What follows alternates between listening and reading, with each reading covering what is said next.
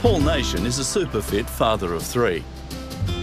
Loves his sport, loves loves his cycling and, and surfing. For him, that was a, a good release, a stress release, um, and it's he just it's just what he loved. A proud dad to five-year-old Cash, 12-year-old Tyler, and Brittany, who's 15. You know, he loves his kids beyond comprehension, you know what we have's great. And he loves me so much. He wants the best for me and his, his kids. The best thing about him is that he just he just loves to see you smile.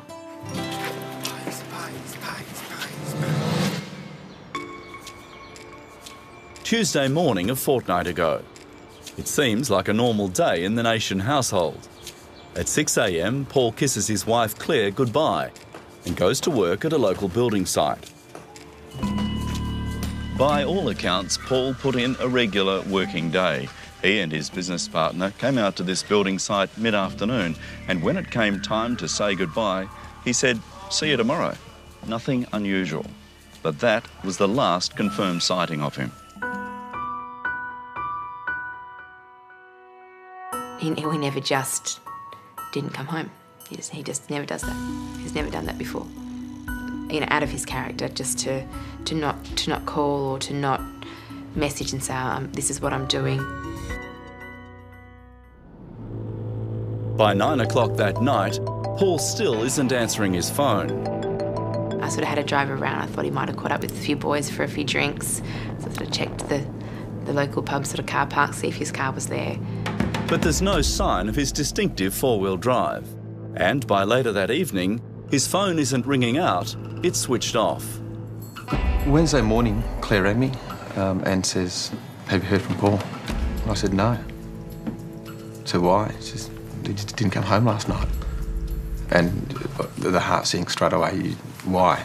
You know, we, we come through here, we looked at all his surfboards, his bikes, um, his wetsuits. There's just no indication that um, he's going to pick up something and just, just go away. I was confused. I was trying to figure out what was going on. There's always pressures within life, family life, home, you know, work life. You know, there was nothing that I can say that could explain why he just wouldn't come home. The day after Paul disappears, Claire files a missing persons report. Paul's last mobile phone signals on the night he went missing are traced to a suburb near his house, and later to a timbered area north of the city. Yes, we do have information to suggest that he was in the Woodvale area and also possibly in the Pinjar area as well. The following Saturday, nearly 100 people come together to search at his last known whereabouts at Pinjar, 40 k's north of Perth.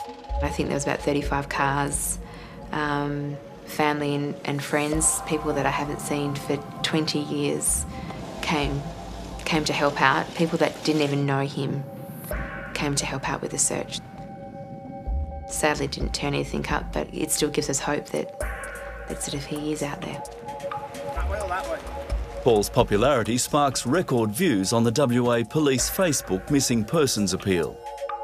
At this stage, this particular post that uh, was published last week has already reached uh, about a quarter of a million people, which is, uh, which is really positive.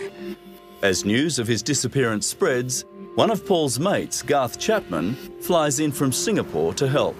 Do you mind uh, uh, taking that and perhaps displaying sure. it? And we'd be grateful for any information. Yeah, no problem. Thanks very much. I suppose the challenge, because we don't know what's happened to him, you know, may, maybe it's not in his mind, and we, we just don't know. I mean, has he had an accident? Has um, has something sinister happened? Has he has he just gone rogue? I mean, we just don't know. We just can't process it. We're just sort of speaking to people and just maybe the hope that maybe someone might have seen him knowing that those friends and myself are here for him you know, may help him uh, um, you know, make the right decision. There have been numerous sightings of a black four-wheel drive like Paul's here in the city and as far out as the Kalgoorlie goldfields. But he hasn't touched any of his bank accounts since that Tuesday. We do know, though, that he had a full tank of fuel and that would have taken him about 750 k's and that he usually carried around $200 cash in the vehicle. It's a distinct vehicle in that it's got um, some signage on the rear window uh, for Paul's business. Uh, so obviously that makes it quite unique. Um, but we're really asking the public to come forward with any information at all about Paul if they sight him or the vehicle. Anything that I, I hear, um, confirmed or unconfirmed, it all gives me hope because that's all I have. What's your worst fear? Well, just that he won't come home. That I have to tell that to my children. And then just see their faces. That will be, that's just, that's what I can't think about right now. Now, nearly two weeks since Paul disappeared, his phone still goes straight to voice message. Hi, this is Paul from TP Formwork. I'm unavailable at the moment. Please leave a message. I can't, I can't ring anymore. Paul, if you're out there and you're listening to this, um, you know, your family needs you, we need you, we all love you and support you. Look, there's no pressure, just, just a call, just something to let us know or an indication that, that you're okay. Paul, we need you to come home. You mean the absolute world to us. And we want you home. We just want you home. Wanted correspondent Nick Way joins us now from Crime Stoppers WA headquarters. And Nick, Paul Nation's family is really praying for a big response from Wanted viewers tonight. This is a tough one, isn't it?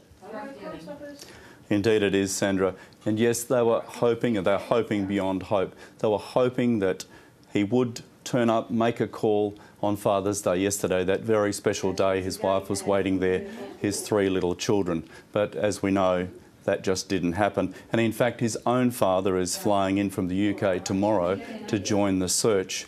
Now, police believe that Paul Nation is still probably within Western Australia, but there is also a possibility that he's heading to Brisbane because he's got a very, very close friend, a friend who's been a friend of his since in his teenage years, and they share this very, very strong passion for sport and cycling.